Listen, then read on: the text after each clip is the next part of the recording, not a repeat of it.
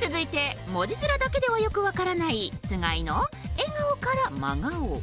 なんか笑顔の終わり方について考えたことありますか？笑顔の終わり方？すごい何今のすごいあの深い話？あははとか笑ってた人がスンって真顔になるのを見るとなんかすごいもの見ちゃったなっていう気持ちに。ありますけど分からなくもないねなんかね。VTR どうぞとかあとスタッフが「あ一回止めます」とかなった時にスン。ってなるとかね。澤部さんとか結構すごいね。もう小林はもうワードの神様ですからね。もうそうですね。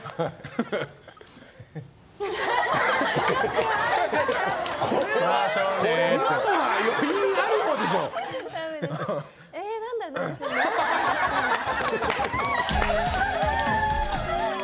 よこれは良くない。わあれがい。い。のなんかちょっと特別なものを見れた感が見ちゃいけないものみたいなね。好きみたいな感じで。うわって。これはでも笑顔真顔を見るとちょっとゾクっていうのは分かる人はいるの？あなんかよくそういう遊びを増田とするんですよ。なんかどっちが笑顔から真顔になれるでしょう対決みたいほなでその松田のやつがうますぎて好きなんですよ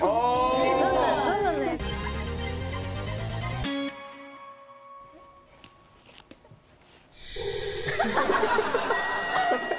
れはどうですか菅井さん？いやいいです。あのまつりちゃんって普段あんまりそれ出ないんですよ。観察してても。出にくくて。あだからちょっと見てみたかったんで。いいんだこれが。いいです。はあ。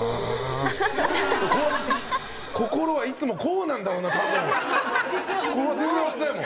松田テレビでテレビ。テレビすいませんごめんなさい申し訳ないダメよアイドルだから。気をつけますそんなん出しちゃ。森 ちゃくちゃ受けてる。森田大爆笑。あ足バタバタしながら出てくるえーえーこやりづらいねこの後なんかね。めちゃくちゃ気にしちゃうわ。あげといていただいて次行きましょうかじゃ次行きますか。あはい